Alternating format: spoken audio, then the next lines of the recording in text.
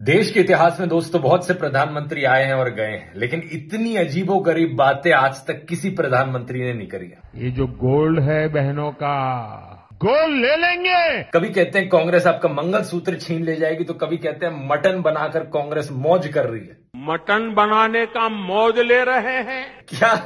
वो देश के लोगों को चिढ़ाना चाहते हैं। मम्मी ये देखो मुझे चिढ़ाना चाह रहा है। क्या चार साल के बच्चे हैं? क्या देश के लोग जो चिढ़ाना चाहेगा उन्हें कोई? आज से कुछ दिन पहले गुजरात में कह रहे थे कि अगर आपके पास दो भैंस है तो कांग्रेस आपकी एक भैंस छीन कर ले जाएगी। मज़ाक नहीं कर रहे, देख लो। मतलब कुछ भी जो मन में आ रहा है, बोले जा रहे हो। अभी दो दिन पहले कहा था कि कांग्रेस हिंदू धर्म को खत्म करना चाहती है। फिर कहते हैं, कांग्रेस क्रिकेट टीम में मुसलमानों को घुसाना चाहती है।